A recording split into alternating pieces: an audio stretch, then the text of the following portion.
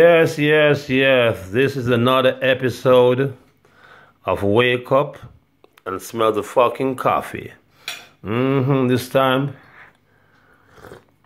Ah, good coffee. But you ain't gonna see my face because I'm not pretty this morning. I gotta shave, okay? Wake up and smell the fucking coffee. Oh, you saw the hand, huh? You saw the hand of a white lady, huh? You wanna think it was my woman. You never know shit, motherfucker. But anyway. Mm-hmm. Wake up and smell the coffee. That's it right there. The gravy, see? Oh, I'm eating good in Sweden, motherfucker. Mm-hmm. Eating good in Sweden. Now look at my fucking face now. Oh, hide your face now. Oh, they can see me. Oh, okay. Fuck him then. But anyway, I'm in Brazil and shit.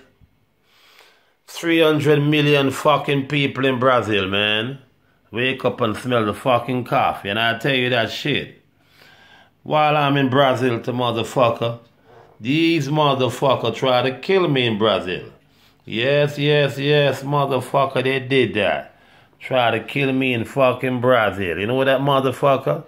You shouldn't do that, you little fucking bunch of fucking bitches try to kill me in Brazil. That's what you fucking do. Kick me out of your fucking house yeah, yeah, yeah. They kicked me out of their fucking house and have me walk in the street of fucking Brazil. I gotta call Mr. Olivier Chastain from VP Records. He placed his credit card from Queens, New York to Piracicaba, Brazil, and have me in the uh, National Hotel, room 1008. Mm-hmm. The first fucking three, four months, the bill was about 6,000 reals, about 3,000 US fucking dollars. The fucking little bitch told me that mouth.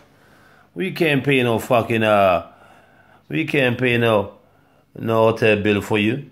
She really can pay about half of it.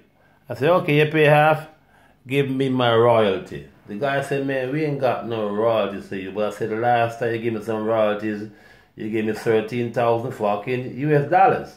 Mm-hmm. But because the motherfuckers them called VP Records and said that, that nigga he come out, you don't give him shit. So my manager is calling over there, the lawyer is calling over there, everybody called and said don't give E come off no shit. And we have text messages where Mr. Philippe is the little fucking bitch, he's in prison for, for cocaine now.